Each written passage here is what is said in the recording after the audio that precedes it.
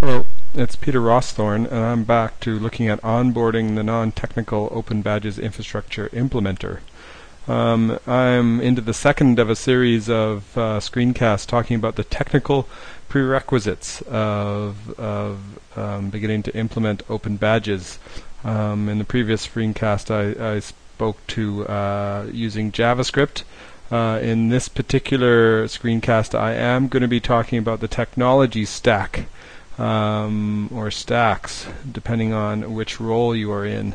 Um, the idea being is that uh, if you're an issuer, an earner, or a displayer, there are different technology considerations that you're going to be needing to make. Uh, this discussion is more at a logical perspective than looking at the uh, server infrastructure, which will be the follow-up screencast. Uh, but this one is mostly looking at things from a sort of a logical perspective about the technology stack you require.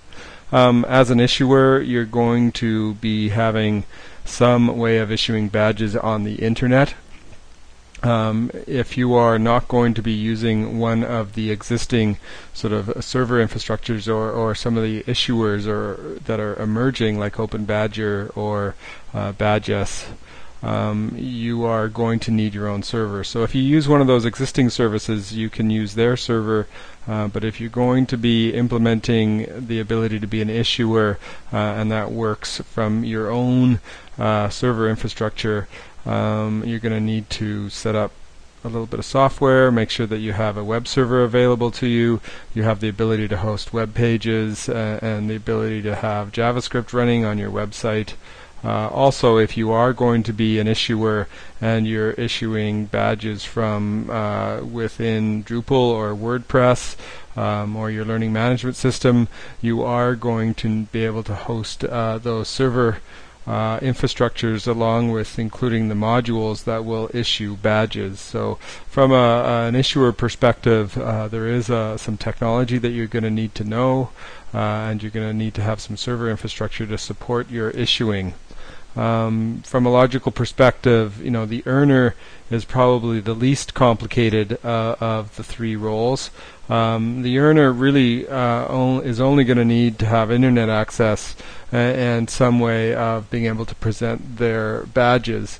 Um, they could actually just use a displayer and present their badges within the displayer, um, but uh, some earners may want to have a little bit more control over where their badges are being displayed and, and, and how they're being displayed.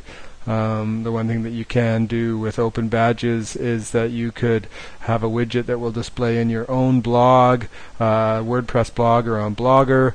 Um, there's also the ability to to embed this JavaScript or HTML into a web page. So uh, from an earner perspective, you don't really need a lot of server infrastructure. In fact, you can get away with having none.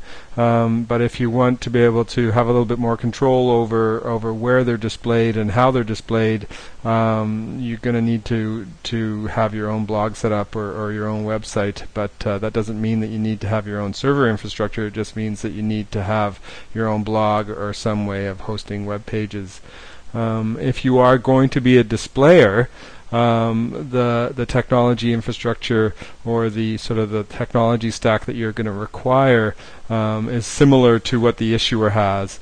Um, from a displayer perspective, uh, you're on the internet, you're going to need some server infrastructure, and you're going to need to be able to host uh, sort of widgets or, or some sort of way of calling the displayer API so that you could display um, a person's badges on your site. So let's say, for example, if you were a Facebook or Google Plus and you were wanting to be able to um, have uh, a widget on the screen that displayed the particular the particular user's badges, uh, you're going to need some servers um, or a server to be able to run some of the code or, or, or some JavaScript or that sort of idea to be able to make the call to the displayer API to be able to uh, set the references to the badges and to be able to get the images and display the badges.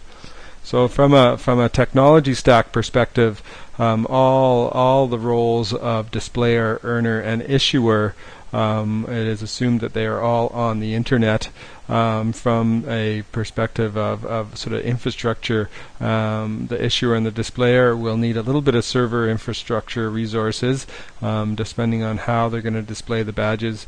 Uh, from an earner perspective, uh, you can keep it really simple and, and just rely on, on the displayer to display your badges, um, but you may want a little bit more uh, control over look and feel of, of the environment your badges are being displayed in, uh, and you may want a little bit more than that. So um, as you go down the path of the technical prerequisites, you need to think about uh, your role as an issuer, an earner, or a displayer. And within those roles, you need to know what sort of server infrastructure you're going to need to do that, depending on how uh, many services you're going to be offering.